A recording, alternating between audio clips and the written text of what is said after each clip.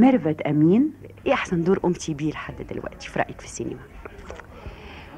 آه، يعني في كذا دور مش دور واحد تقدري تقول يعني أنا عملت مثلا عملت ألوان مختلفة. يعني الأدوار اللي أنا عملتها مثلا مع حسين كمال آه، لون غريب شوية عليا. نجحت فيها رغم إنها بعيدة عن شخصيتي أنا في الحياة. عملت آه، نوعية تانية مع الأستاذ يحيى العلمي برضو.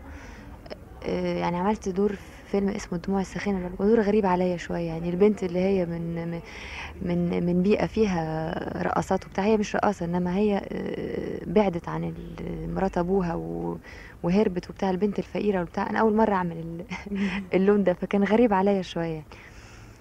فده برضو دور كويس. وفي فيلم اتعرض اسمه دقة قلب. ده بيدور على مشكلة حالية موجودة إن الحب بيفتر بعد الجواز وليه بيفتر وإزاي علاجه إزاي ممكن يكون؟